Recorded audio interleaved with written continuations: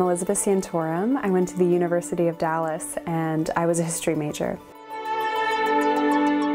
When my sister Bella was born six years ago, um, I was six, 17 years old, I believe, and I can tell you, you know, everyone in our family was really in shock, and you go through a grieving period. You know, Bella was diagnosed with what they considered was a lethal diagnosis, trisomy 18. 99% of children with her condition don't make it to birth. The majority of the reason why is because they're aborted. And then of that 1%, 90% don't make it to their first birthday. With those sort of statistics ringing in our ears, you know, we were you know, kind of cast into what we really see as like these depths of despair, just hopelessness. And, you know, we said, you know, our, our Lord, like you love us so, like why would you do this, right? You know, how could this be love? My dear mom, you know, just like a mother's heart, just like bled, right? You know, as, as you know, our sweet Bella was in the NICU born, you know, three pounds, 11 ounces, and she was so beautiful, so beautiful, and we loved her so much. Um, and that's something we always emphasize with people that, you know, we, we, I've loved all my siblings, my parents have loved all of us from the moment they knew we were there, right?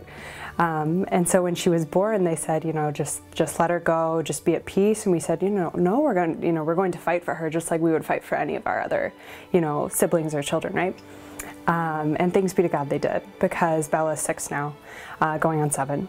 And, you know, she's a miracle to, you know, to us. The medical community will call her a statistical anomaly, but to us, you know, it's, it's such evidence of the hand of God. We need to be more on the, you know, on the front lines of this, this issue of the pro-life debate, you know, really pro-woman debate, right? If you hear statistics like that and you're a young woman and you're scared and you're considering whether or not to have a child, you know, it, they're going to push for you to make a choice, right? And often that leads to abortion, you know, especially with, you know, if you don't believe your child is going to even survive birth.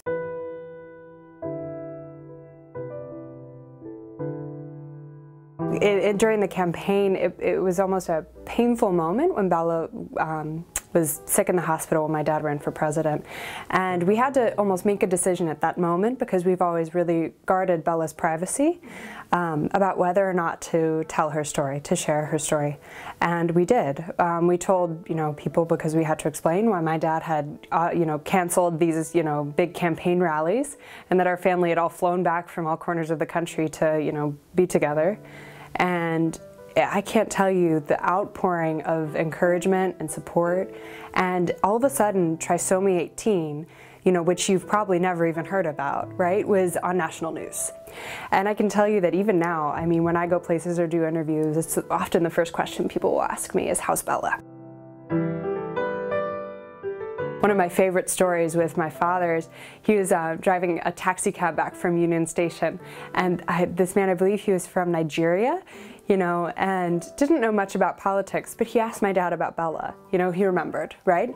So this little girl who at the time was four, you know, had such an impact, you know, more so, you know, than anything we could have planned. It was completely like our Lord, you know, just directing her life and putting it into a spotlight, I think, to glorify his daughter, right? And to say that, you know, though she's what the world will call disabled, that she is so precious and so valuable. For that reason, we kind of began talking about her story and people asked, and so we, we wanted to we wanted to share it with you know with more people.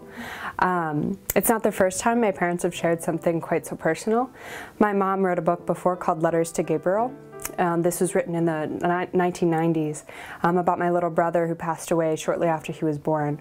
Um, it's actually just a series of letters she had written to him during, um, you know, his time in utero about how much she loved him, and she did this with all of us, which I think is pretty neat. Um, you know, I, I love you, you kicked today, or you know, we were listening to music today. I can't wait, you know, to hold you, and you know, it's it's beautiful for us, but with him, it ended up, you know, having a kind of more, you know, powerful meaning in the end of it all, but.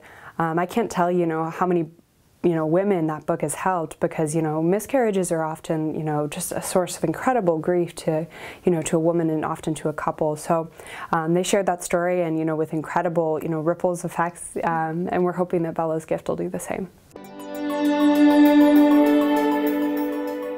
You know ultimately our dignity lies in the love of God the Father You know, short answer, right? That you know, when we look on the cover of magazines, we see you're right that it's outward appearance, it's you know what we do or what we say or how we look.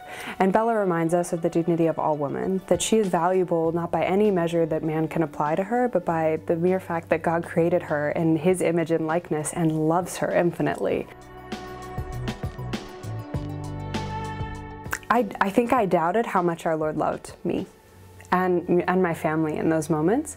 You know, I was young. I was in you know finishing up high school, and you know what for most seniors, Bella you know has was very immunocompromised for her first few years and spent many months in the hospital. It was very difficult, you know, for my family, and I you know really wrestled with our Lord. You know, I think in those months, and and it was a kind of a moment of um, spiritual renewal for me ultimately but um, during that time it was a lot of darkness.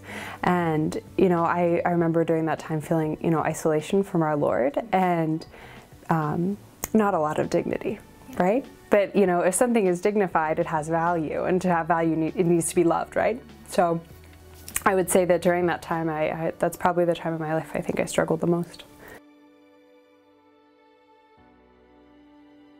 moments when we feel withdrawn or that our Lord has kind of removed his stock from, you know, our world, that it makes us appreciate all the more, you know, when we're in, you know, these peaks with our Lord as opposed to in the valleys. So that time of, I think maybe, you know, I wouldn't call it spiritual desolation, but something cl uh, closely akin to it for a while, you know, um, really helped us to grow, I think, ultimately. And, you know, I think I really do thank the Lord for that now looking back.